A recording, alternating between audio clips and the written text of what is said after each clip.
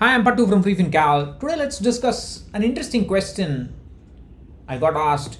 Has this been the biggest bull run in the Indian stock market? Now, uh, when I read this question, I thought, look, obviously, it's not the biggest bull run. Surely, if I plot it uh, uh, using a logarithmic graph, I should be able to find uh, uh, better bull runs in the past. But I was really surprised by the results. And before I show you the results, I just want to uh, clarify that um, I don't know how long this bull run will last. I don't know when it will end or if it has already ended. Uh, bull runs and bear runs are are always um, determined in hindsight. So uh, every graph that you see in this video is full of hindsight bias, and that, there's nothing wrong in it as long as you don't make too too much of uh, you know conclusions for your future investments and so on. The the point is that many people are scared. Uh, they are uh, they people say tomorrow the bull run will end november it will end december it will end and so on. The fact is no one really knows. And just because the market has gone moved up a lot doesn't mean it's going to stop.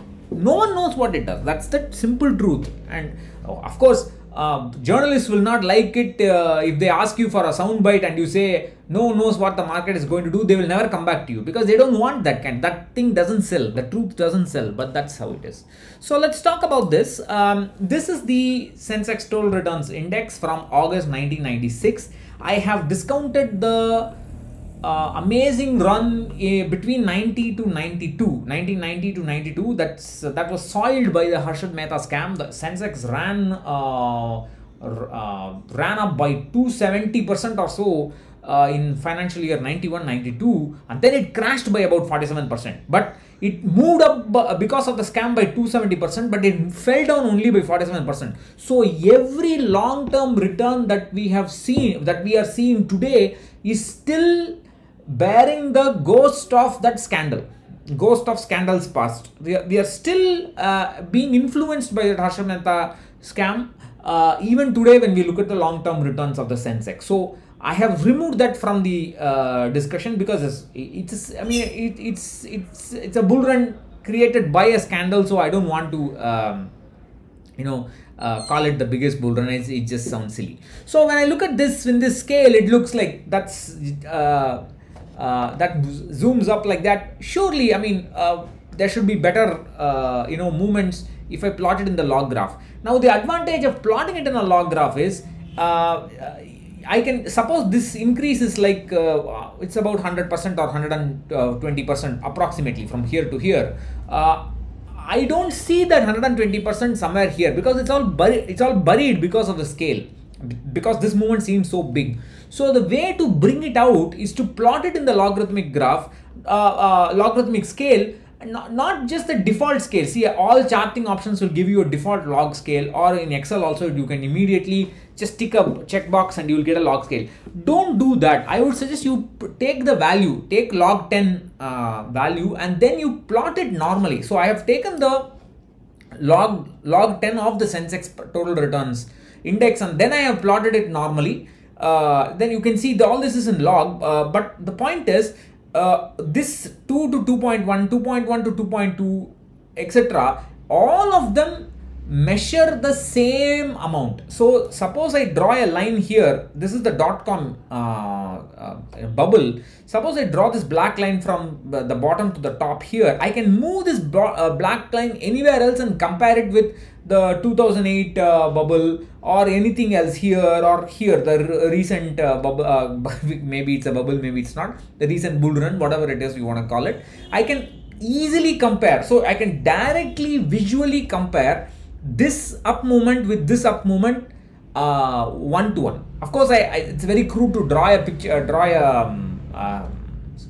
you know line like this. I've done it just on PowerPoint and MS Paint, not PowerPoint, MS Paint. But it doesn't. I mean, it's very crude, but it still gives you an idea. So if I do those, uh, compare those two lines, you can see that this current bull run has been slightly steeper than the dot com bull, uh, bubble and it is extended for a bit longer uh, but the real uh, uh, comparison that I wanted to see was to compare this current bull run with this one.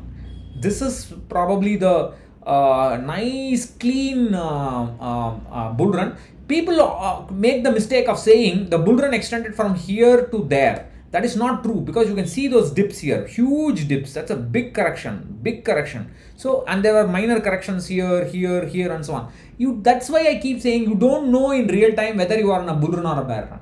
Oh, in hindsight anybody can say that's what i am doing. I'm not doing anything special. But even in hindsight it is wrong to say the bull run lasted from here to there. No it did not The, uh, the bull run only lasted from here to there and then it lasted maybe here and there are small segmented uh, segmented bull runs uh, because there were uh, uh, crashes uh, mini corrections if you don't want to call them crashes in the middle.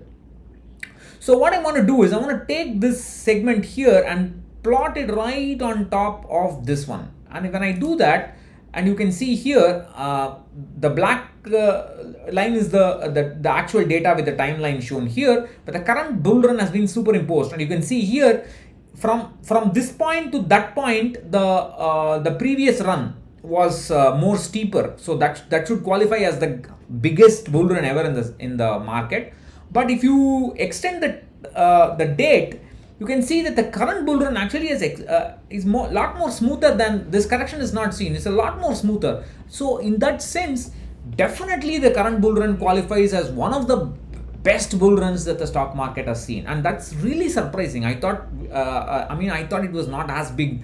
Uh, if I plotted in log scale, this is actually in a normalized log scale. It doesn't matter even if I plotted in a, a normal price scale. It should not. It should be more or less the same of course if i now if i make the assumption that from here to there is the big bull run and uh, uh, then you can see uh, the current bull run has got a lot of it has, it has a lot of distance to catch and catch up and that's not going to happen so smoothly. And also you can see the scale of the 2008 crash. You can see how big it crashed.